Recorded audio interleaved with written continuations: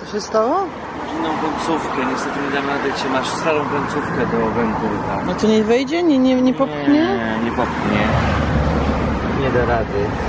No nie. To ustami. Może da, to daj naciśnij tam przycisk. Cześć wszystkim. E, zaczynamy nowego vloga. Wróciliśmy na trasę, czyli wracamy do odcinków z serii Kamperem przez Polskę. Właśnie jesteśmy w Wałbrzychu, dopompowujemy rowery, nasz bus został na osiedlu, a my jedziemy do Zamku Książ.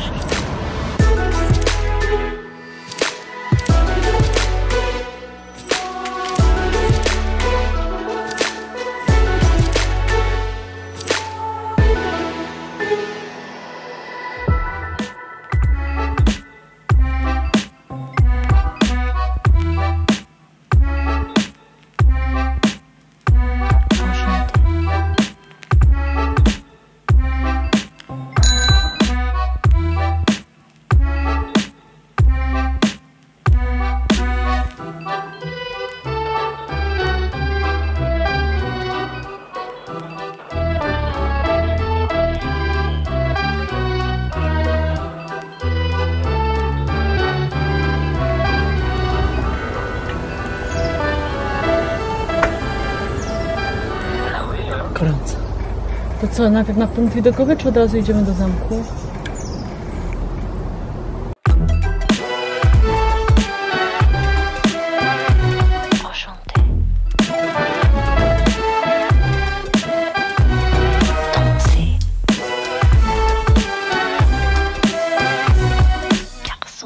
Mamy już bileciki. Bilet kosztuje 35 zł na zwiedzanie zamku bez przewodnika i na zwiedzanie tarasów i palmiarni. I dostaliśmy jeszcze taki przewodnik, także nie powinniśmy się zgubić.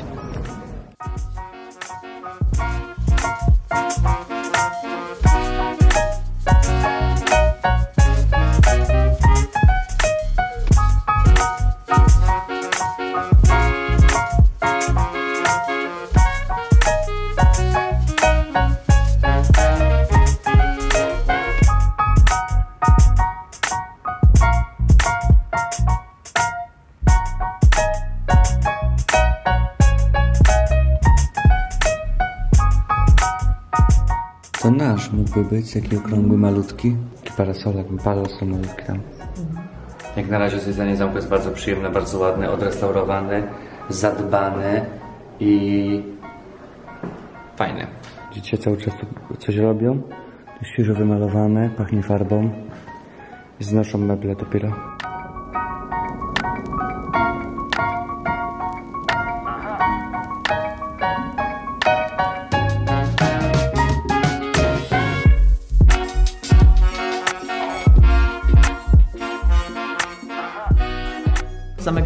Jest to największy dolnośląski zamek, a trzeci co do wielkości zamek w Polsce, wyprzedza go tylko Malbork i Wawel.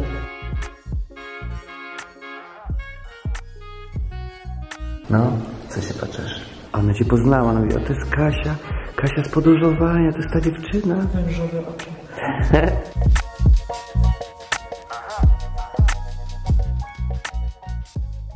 Perły na szyi księżnej Daisy zostały jej podarowane przez jej przyszłego męża. E, Sznur wynosił, miał długość 7 metrów i został zakupiony za 3,5 miliona ówczesnych marek niemieckich. Choć e, legenda głosi, że osoba, która po, jakby poławiaczy tych pereł, najmłodszy z nich umarł i przeklął rodzinę właśnie Daisy i osoby, które miały nosić te perły. No i podczas wojny zawieruchy one zniknęły i nikt nie wie po dziś dzień, gdzie te perły się podziewają. Ja wiem, gdzie są te perły. Te perły są w złotym pociągu, którego kiedyś znajdziemy. Jak kupimy sobie jakąś działkę, na której zamieszkamy naszym vanem, to tam będzie pod spodem ten złoty pociąg. Jestem tego przekonany.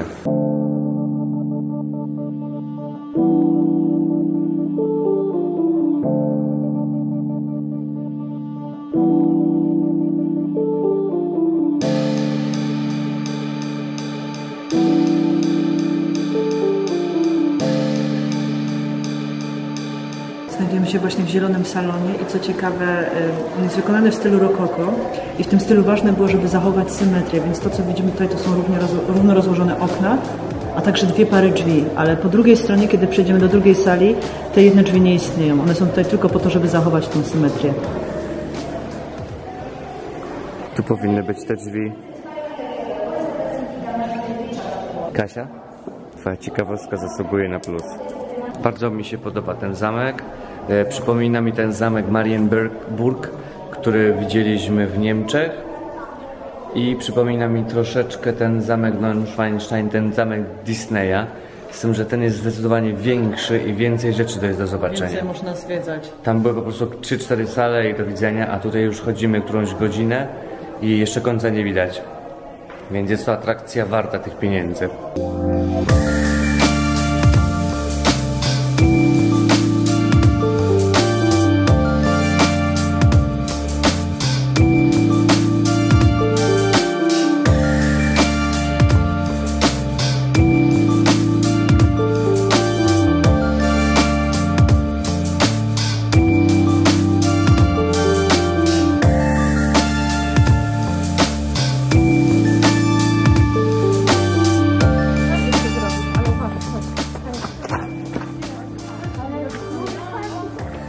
Co teraz Kasia? Teraz Łukasz będzie dronował. O, no to lecimy.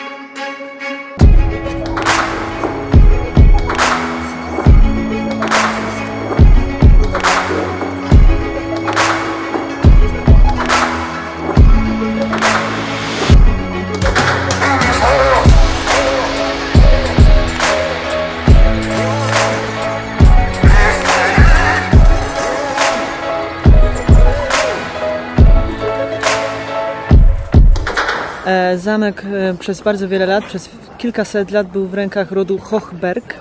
Dlatego właśnie wspominam Wam o tej księżnej Daisy z tymi perłami. Ona właśnie była żoną, em, przyszłą żoną właśnie jednego z członków tego rodu. No i przez kilkaset lat ten ród tutaj panował. E, Obecnie tutaj, no właśnie ten spadkobierca, czyli ten Bolko odwiedza to miejsce. Natomiast ogólnie zamek jest w, w rękach em, miasta Wałbrzych.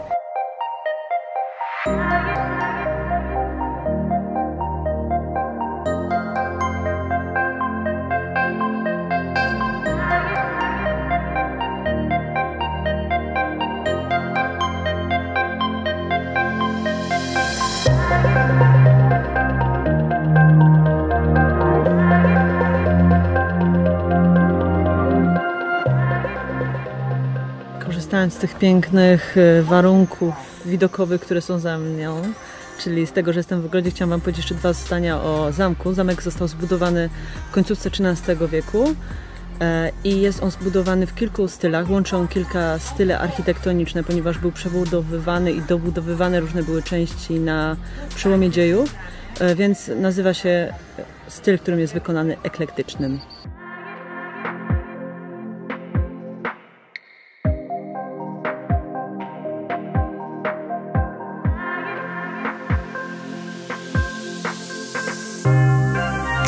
Ta pani ma już chyba dość turystów.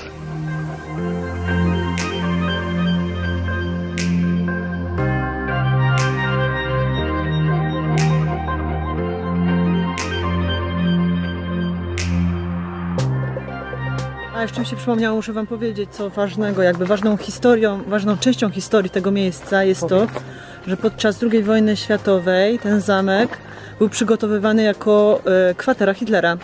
On miał tutaj zamieszkać i ze względu na to, że Dolny Śląsk był w początkowych częściach wojny dosyć jakby spokojnym miejscem, więc tutaj zostały budowa- jakby wybudowane umocnienia.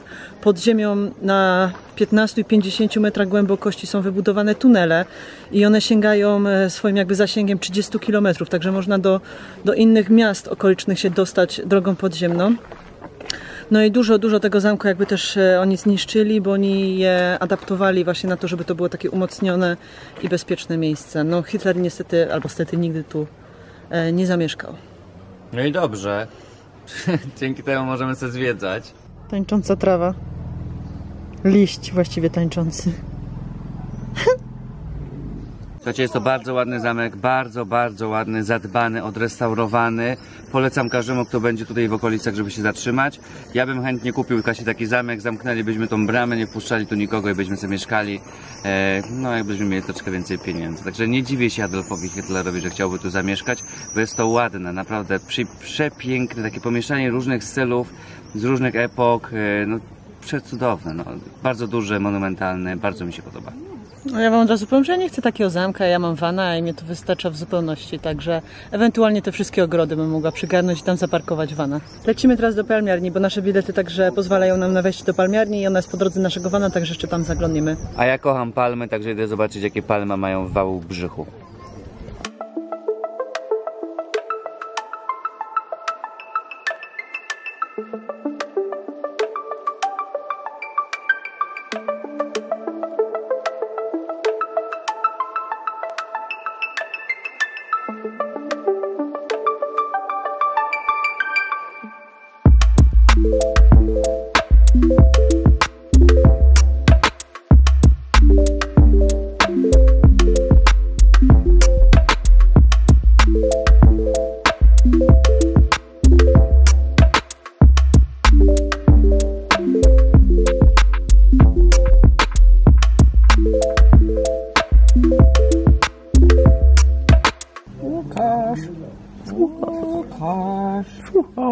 wrzucę trochę jedzenia.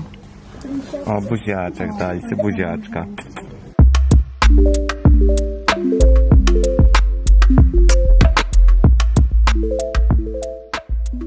Ta palmiarnia i ogrody, które tutaj są dookoła, powstały jako prezent dla Daisy, dla tej pani, wtedy ówczesnej panny młodej e, z rodu Hohenbergów. Co ciekawe, e, pochłonęło astronomiczną sumę 7 milionów marek w złocie. Tyle to kosztowało. I co ciekawe, em, ten hrabia, który zlecił wybudowanie tego miejsca, użył tufu wulkanicznego i sprowadził 7 wagonów zastygłej lawy z Etny i tutaj na miejscu ona była rozbijana i tworzone były groty i różne skalne ściany.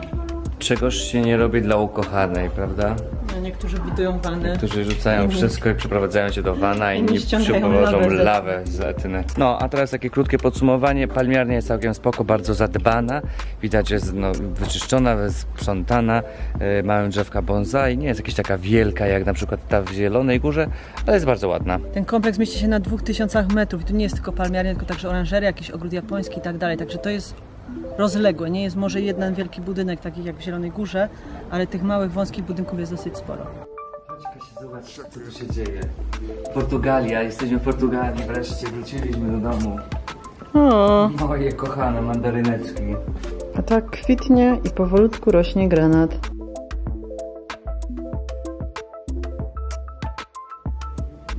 Kto jeszcze nas nie śledzi na Instagramie, to może nas znaleźć pod nazwą Podróżowanie i tam cały czas wrzucamy instagramowe relacje na żywo, więc jeżeli ktoś jest na przykład z Wałbrzycha i zobaczy sobie, że o, Łukasz z Kaszem jest z Wałbrzychu, chce ich zobaczyć, to może przyjść i nas zobaczyć, więc zapraszam na Instagrama.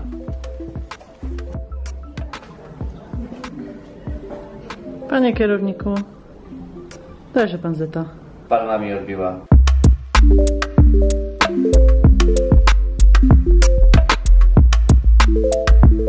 Kończymy zwiedzanie Zamku Książ, kończymy zwiedzanie palmiarni, wskakujemy na nasze rowery, wracamy do busa i jedziemy dalej. Dziękuję.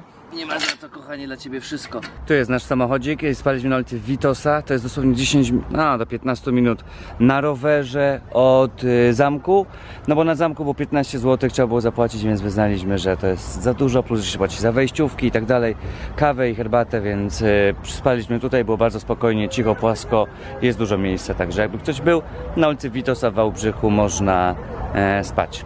Przynajmniej ja tak mówię. Zarządzam.